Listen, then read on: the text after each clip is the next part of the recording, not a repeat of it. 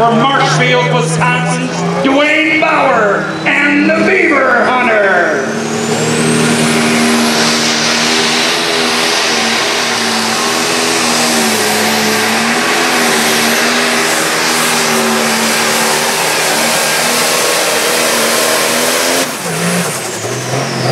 Let's give the